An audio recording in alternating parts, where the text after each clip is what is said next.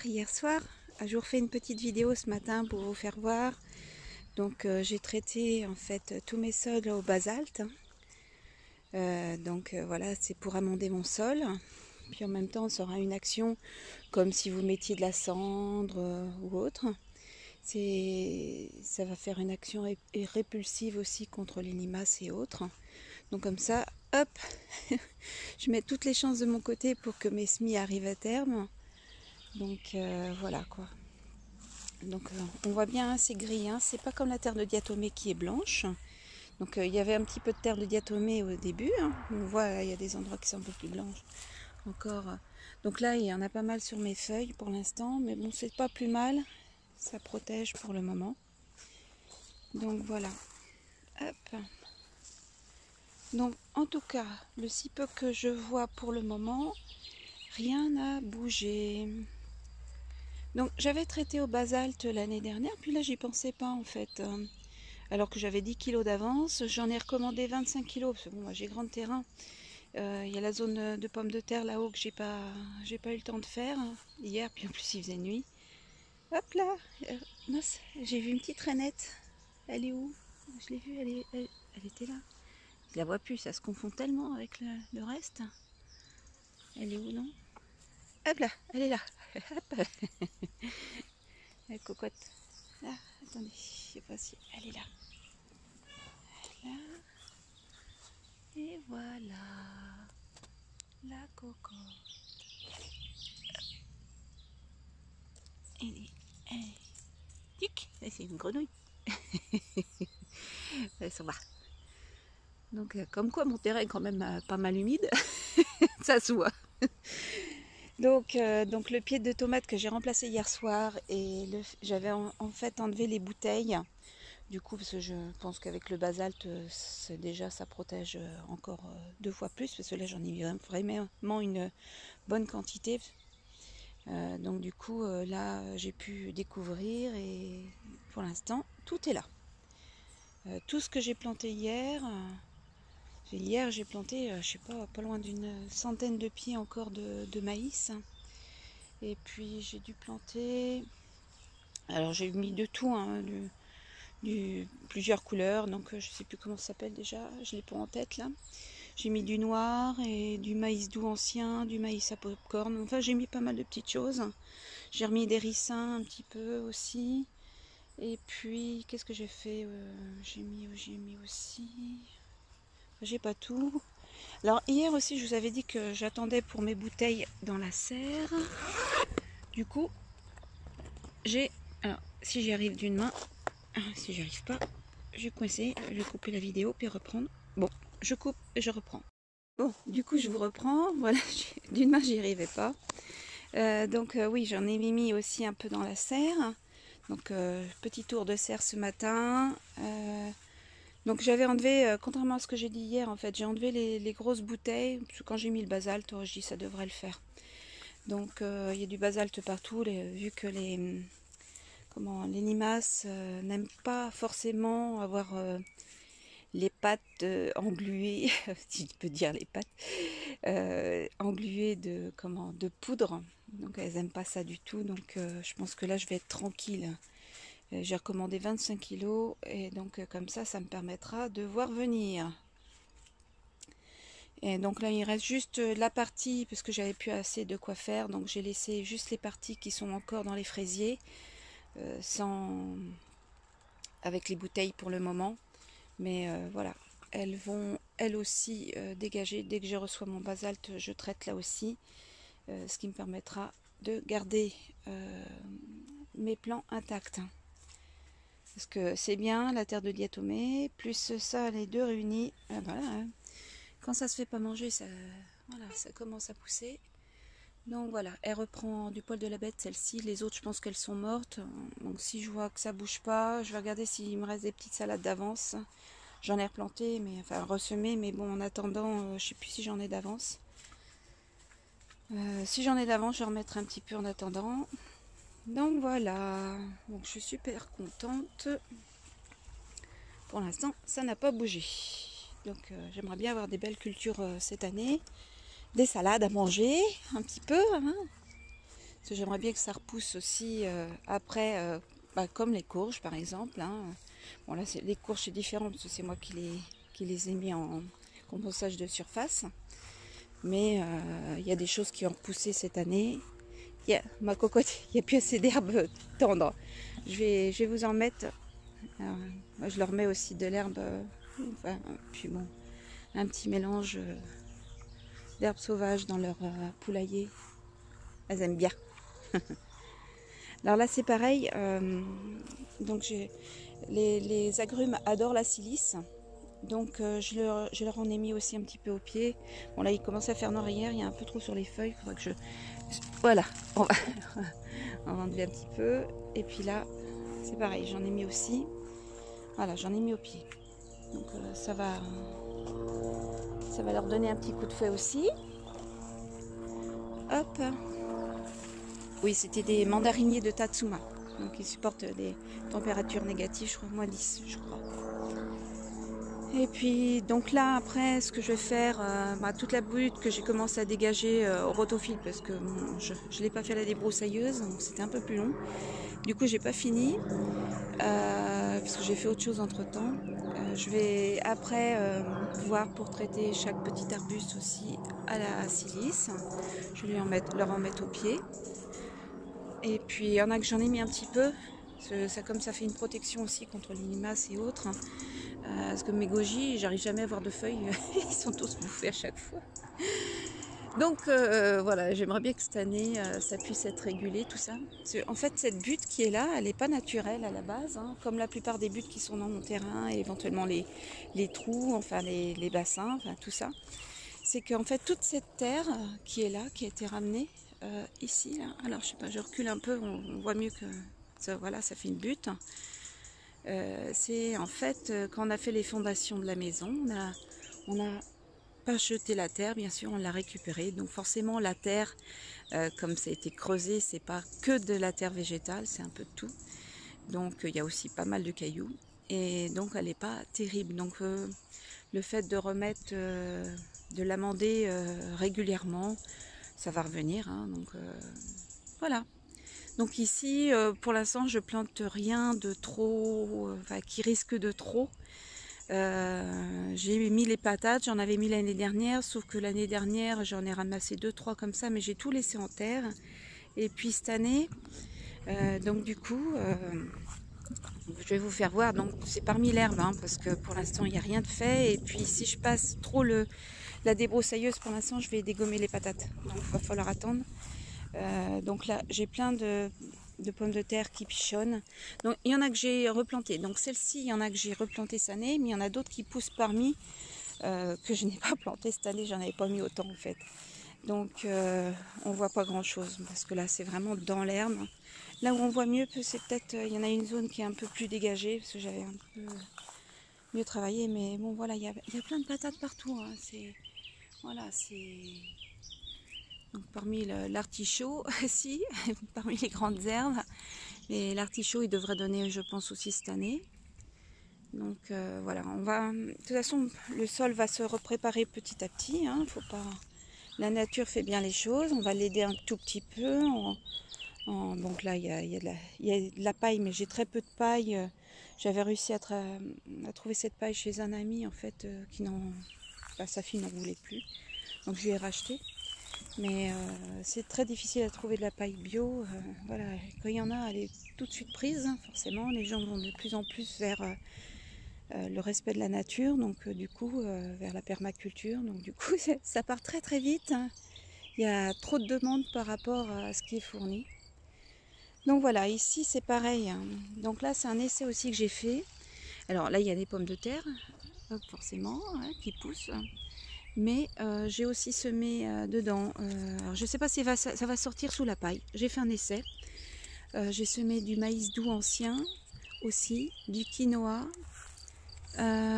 du sorgho, du soja, des mini tournesols. Et donc j'ai mis quoi Il y a quelques œillets d'Inde. Donc je sais pas. J'ai fait un essai, on va voir ce qui va sortir. Le mieux c'est d'essayer. Voilà, on va voir. Donc là c'est pareil, hein. il y a quand même euh, Si tout sort, normalement, on devrait avoir quelques patates. Mais ça commence à s'améliorer parce que pour une zone qui est pratiquement tout le temps au soleil, que je n'arrose jamais, hein, j'arrose. Alors faudrait, si l'année dernière j'avais arrosé un petit peu, parce que là c'était vraiment très très sec, parce que là j'ai pas de, j'ai pas j'ai rien du tout. Hein. Donc euh, j'avais arrosé un peu l'année dernière, mais regardez, euh, c'est que c'est pas si mauvais que ça. J'ai des champignons. Voilà, j'ai des champignons dans, pratiquement toutes mes zones de toute façon. C'est que c'est bon, bon signe. C'est très très bien.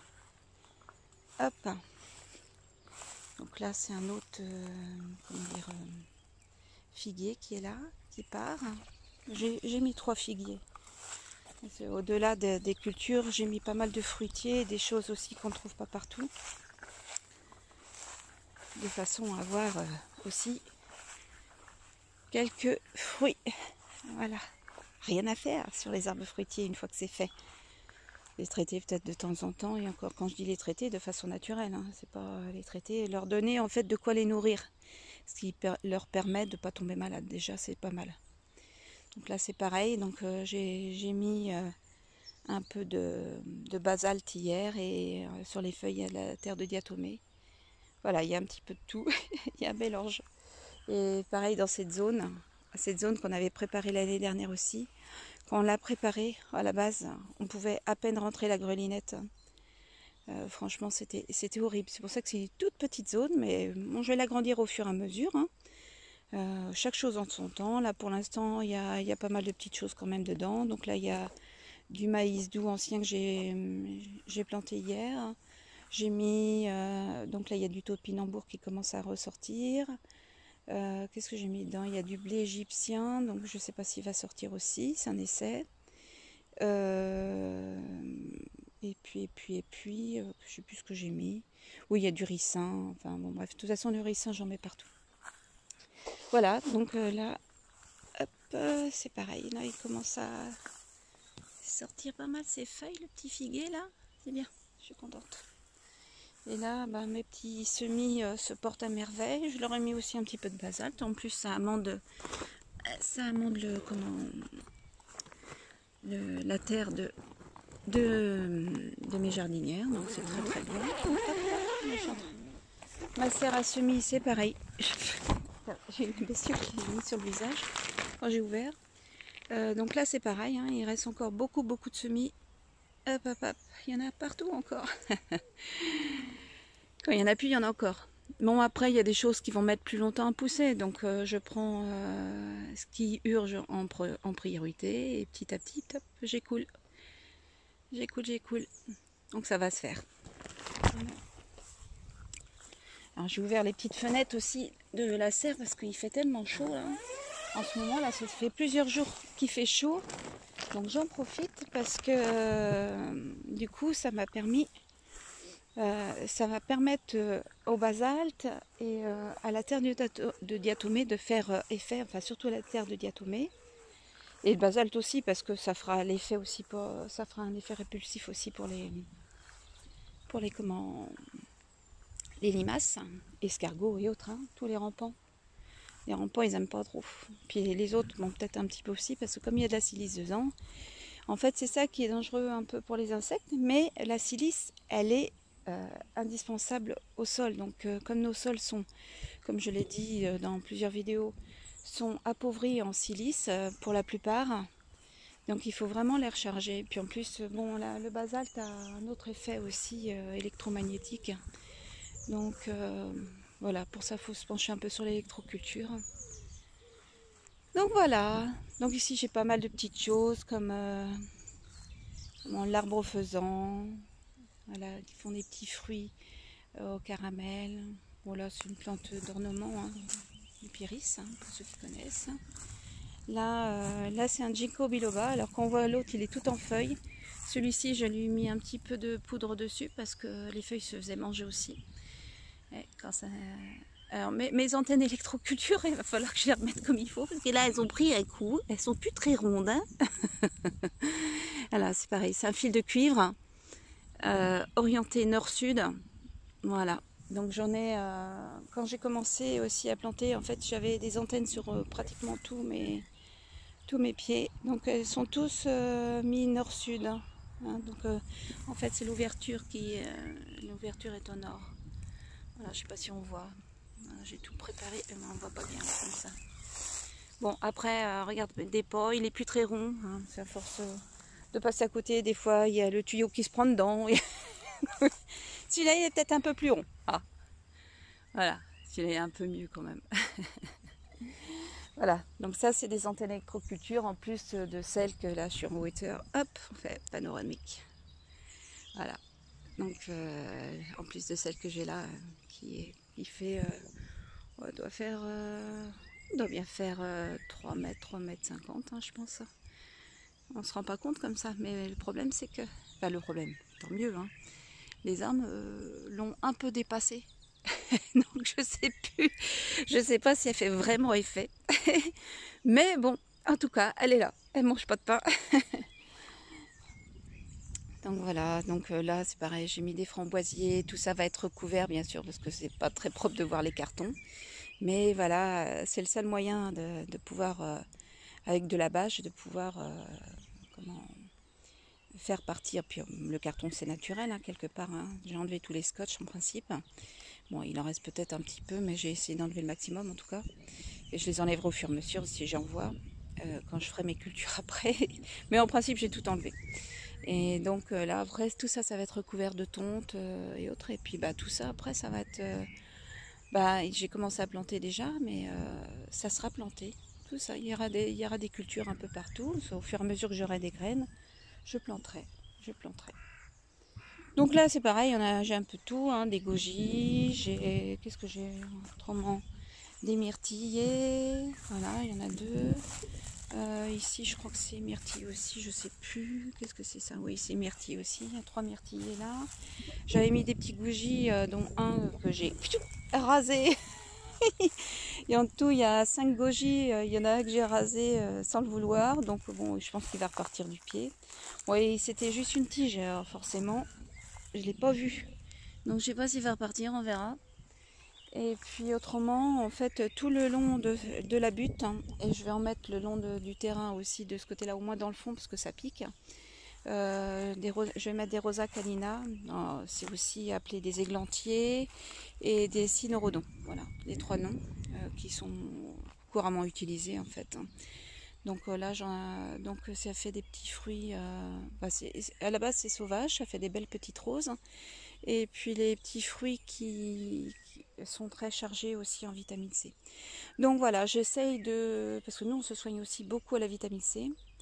Euh, donc la vitamine C, donc les goji c'est pareil, sont, sont très riches en pas mal de nutriments aussi, de vitamines. Donc j'essaie de mettre vraiment des choses qui, qui vont nous servir non seulement pour embellir le jardin, pour euh, nous nourrir, mais quand je dis nous nourrir, nous nourrir comme il faut. Pas que. Voilà, ça va pas être du vent, quoi. Hein, et j'essaie de choisir des choses les plus chargées possibles. Comme par exemple, je vais pas mettre du blé, euh, du blé qu'on retrouve partout, euh, je vais pas semer du blé. ce que je vais semer, ça va être de l'épeautre. le blé égyptien, là je fais un essai. Euh, parce qu'en en fait, l'épeautre, en principe, se, sème plus au mois de, septembre, octobre, euh, voilà, en général, que les, le, comment, le blé euh, se, peut se semer vers mai-juin. Donc, donc ça peut permettre aussi d'enchaîner les cultures, parce que mon but, bon, bah, c'est toujours de, de devenir le plus autonome possible, euh, y compris pour nourrir les animaux. Euh, donc ça va pas être forcément évident au début, hein, il faut un certain temps. Euh, j'ai commencé vraiment l'année dernière, même si je faisais un petit jardin comme tout le monde, mhm. avec quelques salades. Mais vraiment le strict minimum, c'était que l'été. Et donc là, maintenant, il faut que je trouve enfin, voilà, mon rythme et préparer toutes mes cultures pour que d'année en année, eh ben, que mon sol s'enrichisse, que, que mes cultures deviennent de plus en plus, comment dire, euh, nombreuses hein, quelque part. Donc ici c'est pareil, pour ceux qui connaissent. Alors il, était tout petit, mais là il est, il est bien parti, il me fait plein de pousses cette année. C'est un arbre aux fraises. Donc voilà. Donc il faudra sûrement attendre aussi pour les fruits. Mais voilà. Ici, alors je vous en parlerai aussi dans une vidéo, euh, c'est du Nîmes. Alors j'en ai planté deux. Euh, donc voilà, donc euh, pour ceux qui connaissent l'huile de Nîmes, mais aussi les feuilles qui sont utilisées en phytothérapie, que j'utilise d'ailleurs. Donc j'ai planté deux arbres parce que c'est aussi utile au jardin, ça peut servir aussi pour pour soigner comment dire bah, les plantes, soigner les arbres, voilà euh, en faisant soit un purin ou en, utilisant, bah, pour l'instant, euh, moi je prends de l'huile de Nîmes que je mélange avec, euh, je l'ai fait un petit peu pour mes fruitiers, que je mélange un petit peu pour, avec du, du, savon noir. Voilà, parce que l'huile de Nîmes, bon, forcément c'est huileux, donc en le mettant avec du savon, en faisant une émulsion, ça permet de bien mélanger et après de, passer ça en pulvérisateur et ça marche très très bien. Ici, euh, donc là c'est tout, j'ai fait le tour. Bon bien sûr j'ai planté des, palmiers.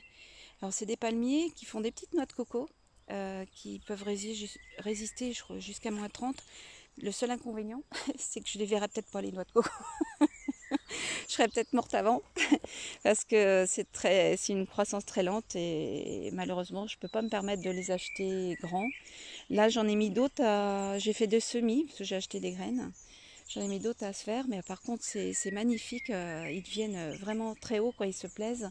Et ils font des, pieds d'envergure de plus d'un mètre de diamètre. C'est énorme.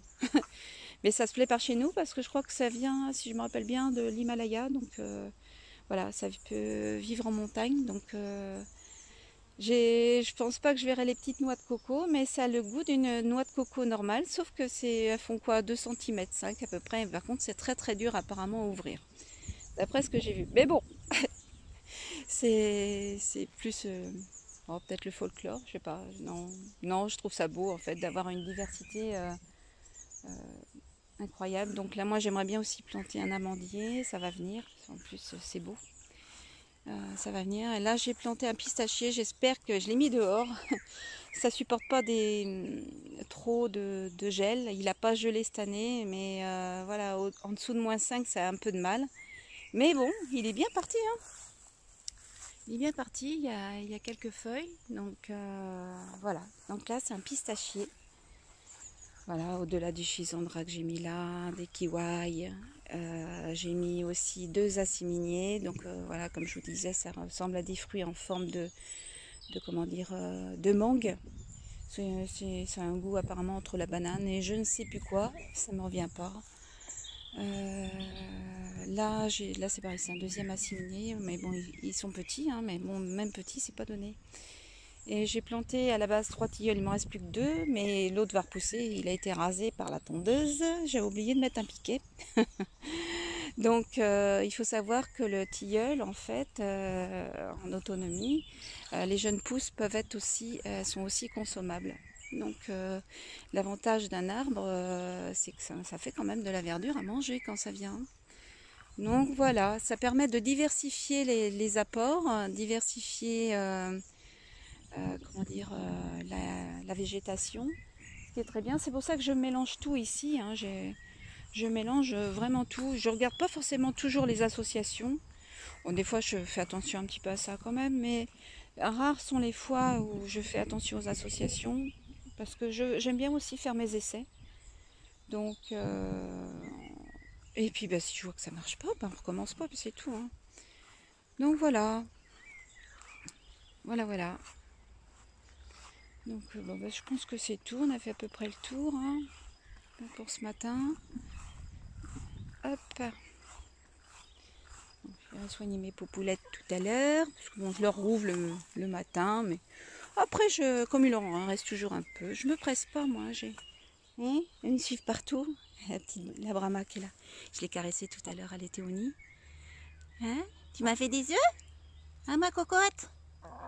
Ouais. Voilà. Hop. Donc là, j'attends que ça prenne aussi. Je fais un petit tour rapidement. Là, c'est pareil, hein, vous avez vu, j'ai mis euh, partout de la poudre de basalte. Hop, là, il a besoin d'eau celui-là. Je parle de... faut que j'arrose là. C'est pas grave. On va arroser ça. C'est en sous-bois, donc... Euh, oups, je mets mon doigt devant. C'est en sous-bois, donc euh, du coup... Ça tient mieux l'avantage du sous-bois et le désavantage. Donc l'avantage, c'est que ça reste humide. Désavantage, c'est que ça attire les loches. Mais j'ai mis beaucoup, beaucoup euh, à l'oreille du bois, un petit peu en sous-bois. C'est vraiment à l'oreille, hein, c'est pas vraiment dans le sous-bois complet. Parce que ici, ça, bah, non seulement ça se plaît, les cultures se plaisent, mais euh, ça, ça, arrive à avoir un petit peu de soleil. Hein. Le soleil rentre voilà, parmi les feuilles.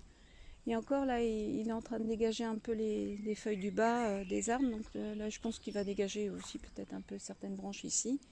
Mais moi, j'aime autant que ça reste un petit peu légèrement à l'ombre. Euh, ne serait-ce que quand c'est les semis, euh, voilà, c'est pas plus mal. Donc, le, pour que ça lève, c'est bien, hein, qu'il fasse très très chaud. Mais euh, quand, quand c'est levé, c'est bien aussi que ça brûle pas. Donc voilà. Donc là, c'est pareil. J'avais une partie des radis qui s'était fait manger. Enfin, des pousses, parce que les radis sont pas encore là. Donc là, c'est pareil. Tout est. Ah, il n'a pas neigé. Hein. Surtout que la neige est grise là. 10 kilos de basalte quand même. Ça va vite. Hein. C'est pas donné donc. Euh, de toute façon, il faut pas le faire trop souvent. Hein. Donc euh, là, c'est bien. Je profite. Il fait super beau, donc ça va faire euh, un double effet.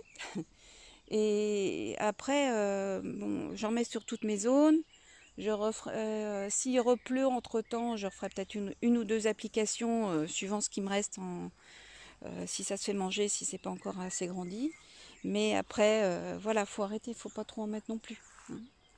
Faut pas déséquilibrer le sol. Donc allez, bon, bah, je vais vous laisser. Euh, nous, on va les manger. Allez, ah oui, attendez les miscanthus, pendant que j'y pense. Donc là, ils sont bien partis. Dans toutes mes zones, genre, des zones miscanthus, en fait, ils sont en train de partir. Là, il y en a qui font 30-35 de haut, là, déjà. Donc euh, on voit les tiges qui sortent. Donc ça, ça va, ça sort. Euh, je suis contente, mais mes, racines étaient belles en plus. de toute façon, je me doutais. Hein. Donc voilà, allez, je vous dis euh, cette fois vraiment salut et à bientôt